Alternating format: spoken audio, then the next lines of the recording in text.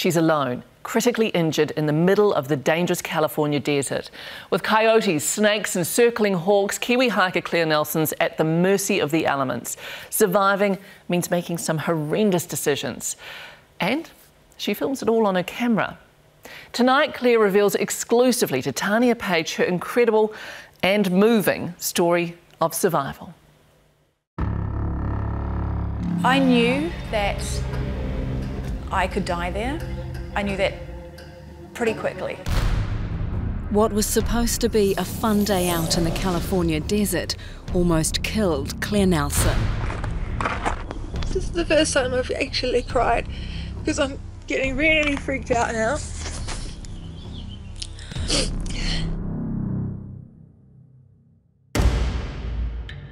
Joshua Tree National Park, 3,000 square kilometres of desert. Harsh, hot, forbidding. But not to this Kiwi travel writer. The desert is just so stunning. I was feeling perfectly confident, and in fact, I was feeling really happy to be there. She's a go getter.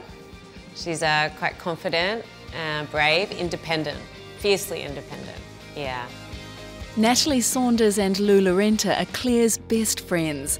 They've trekked the world together, documenting their adventures on social media. I'm a bit of a sharer. I've always wanted to share my experiences with other people, and whether that's through writing, whether that's through social media, if I can find a way to share experiences, then, then I will.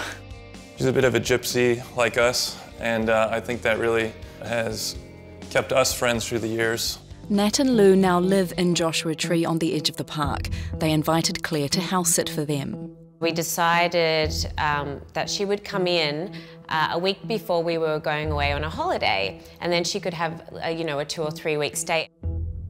It's like nowhere else I've been.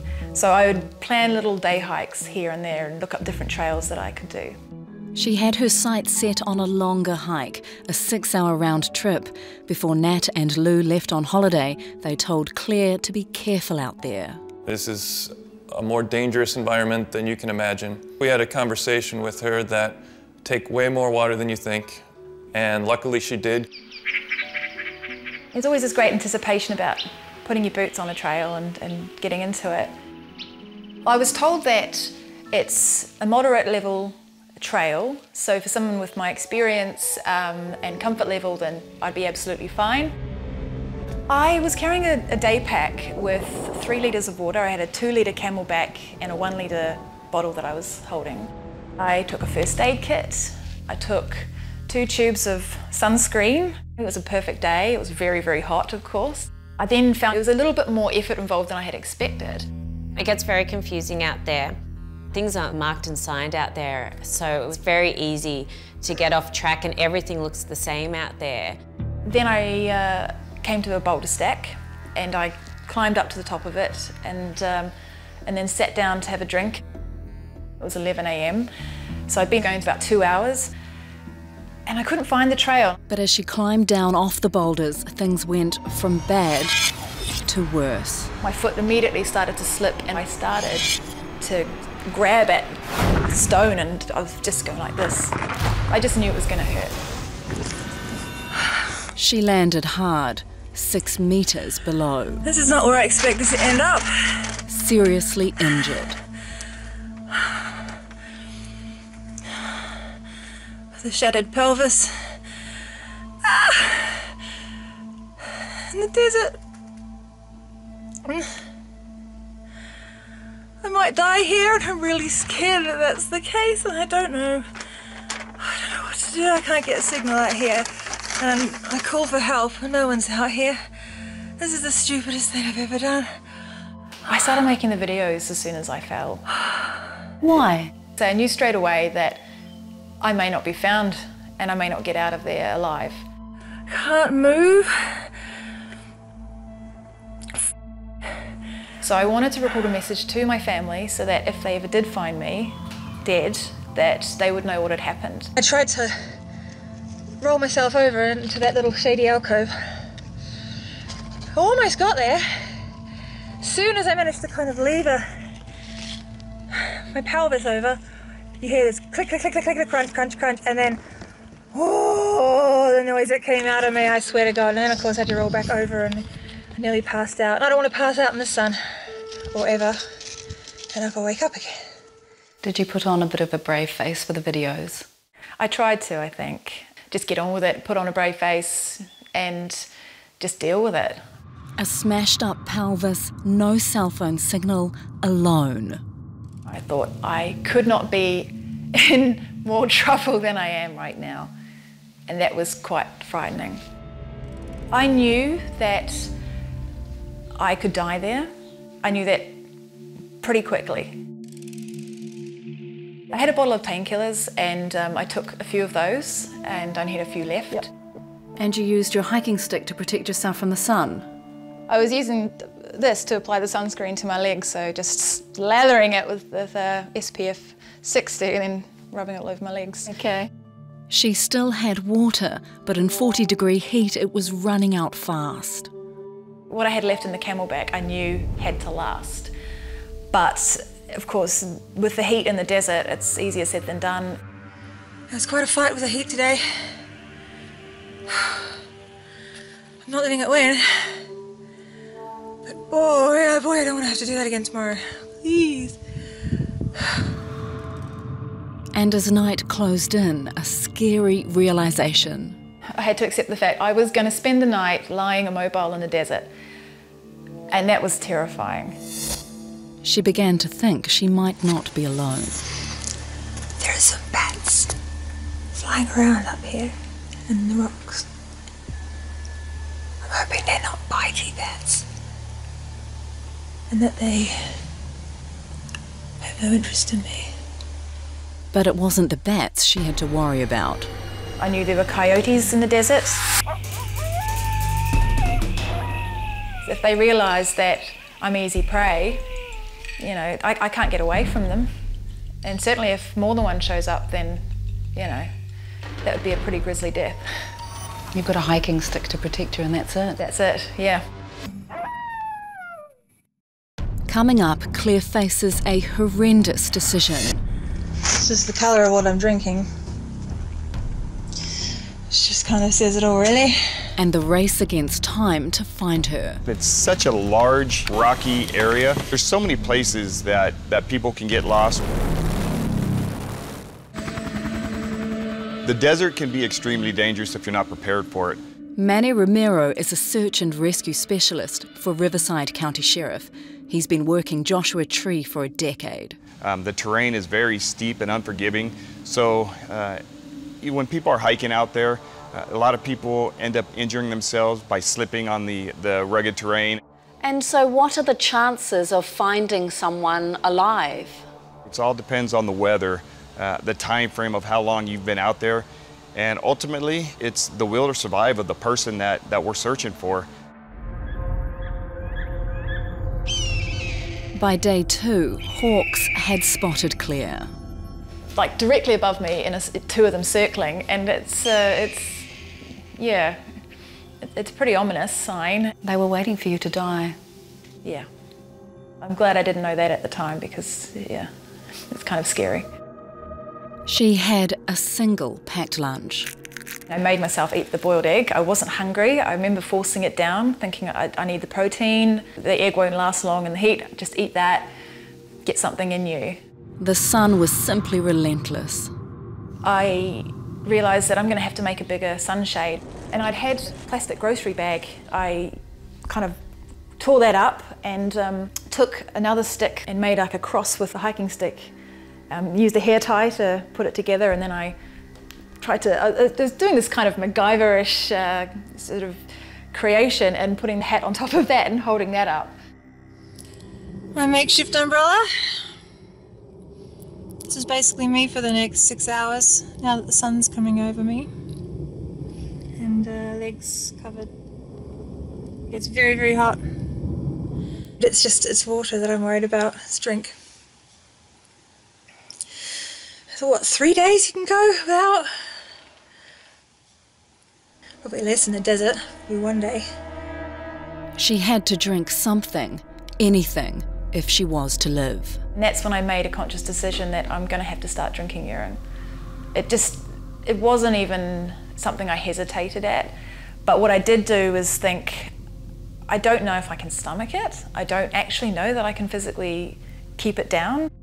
I, I know I held my nose, um, which was very, very important to do that. What's it taste like? To be honest with you, it tastes exactly as you imagine it would taste.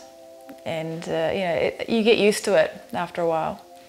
It doesn't get any less, um, any less unpleasant, but um, you get used to it.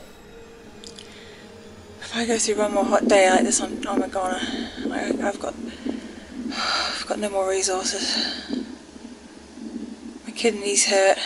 Dehydrated. Yeah. this is the colour of what I'm drinking. It just kind of says it all, really. When it's life and death, you just think, I need to be hydrated, and you, and you do it.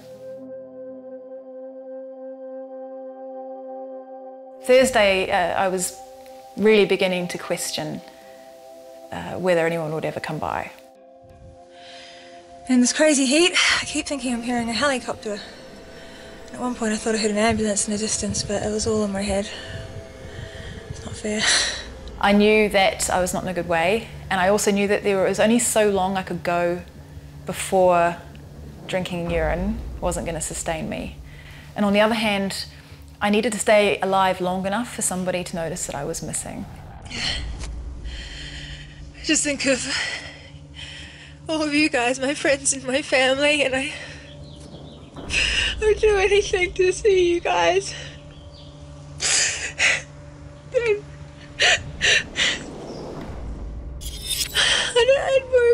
don't want to be here.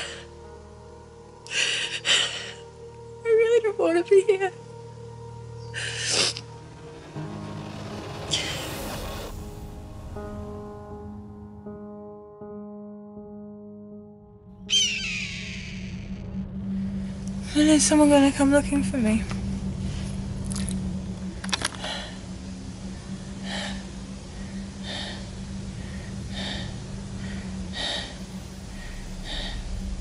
This this heat is trying to get to me.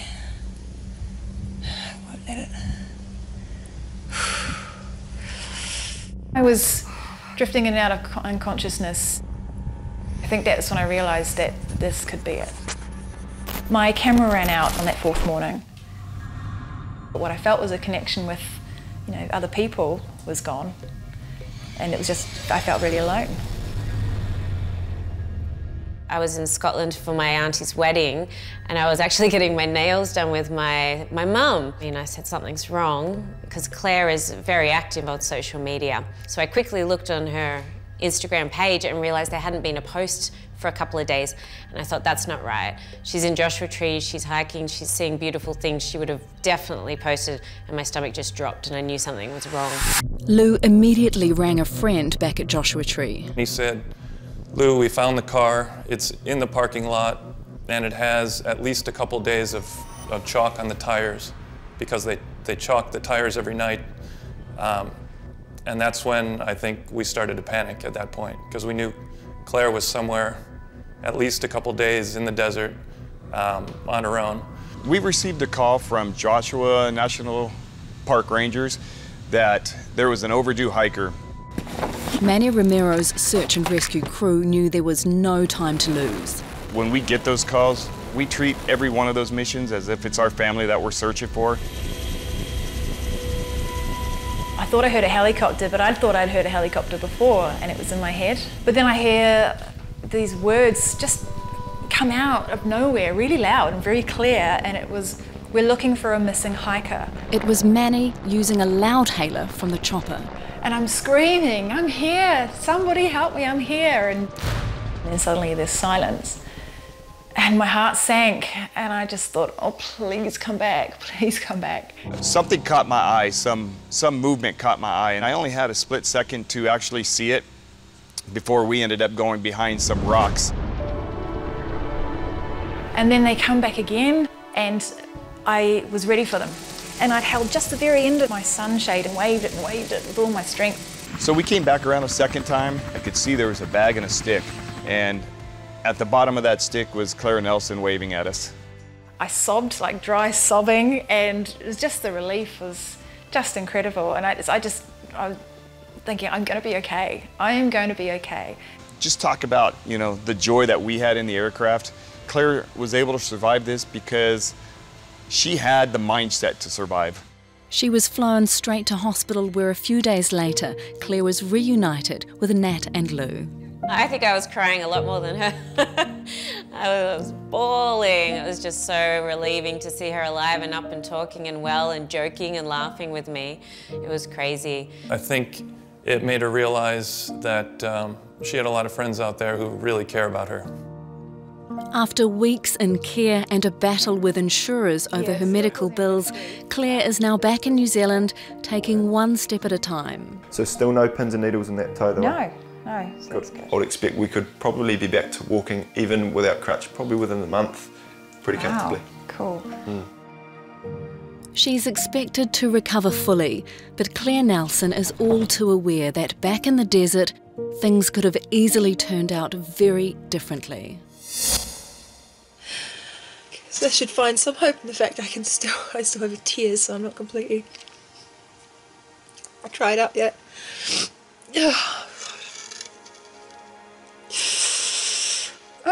god. There's still hope, there's still hope. How did you survive? Um, stubbornness. I wasn't ready to die. You know, there's something to be said about, you know, a will to live. You know, it's, it's a really strong motivator, it's a very powerful force. And I underestimated that until that was all I had. You know, um, I, I, didn't, I didn't want that to be where my story ended. Isn't she incredible? The courage and resilience. Well, Claire plans to continue working as an international travel writer and hopes to return to Joshua Tree when she can.